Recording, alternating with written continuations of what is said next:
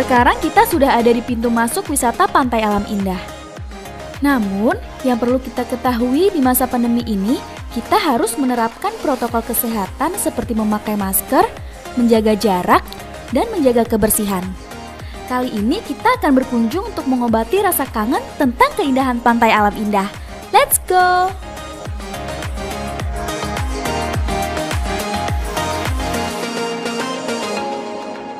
Nah, yang sekarang kita injak ini disebut jogging track. Di sini kita juga bisa menikmati indahnya sunrise dan sunset sembari duduk di tepi pantai. Hutan mangrove pantai alam indah. Di sini terdapat spot-spot yang instagramable banget nih. Bisa juga dijadikan buat foto prewedding dan piknik keluarga. Suasana yang asri, sejuk, serta pepohonan yang menjulang tinggi.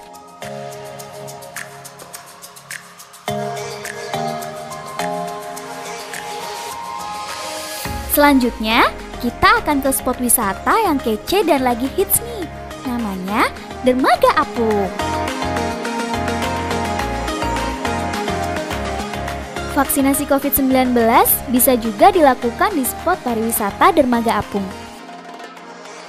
Gagasan tersebut dirancang oleh Wali Kota Tegal yaitu Bapak Dedion Supriyono dan tentunya ini juga bekerja sama dengan Dinas Kesehatan terkait.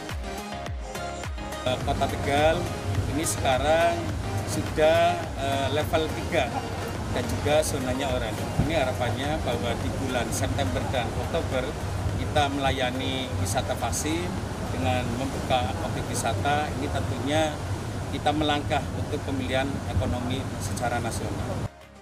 Semua tenaga kesehatan di sini sudah berpengalaman loh, jadi nggak usah khawatir. Nah, kemudian yang menjadi salah satu alasan wisatawan betah berlama-lama di sini yaitu adanya spot wisata terbaru nih. Spot yang baru di oleh Dinas Pariwisata loh. Seperti jet ski, banana boat, para layang, dan donut boat.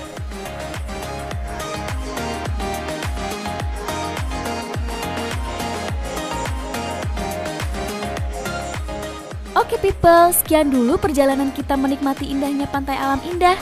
Gimana? Berkesan kan?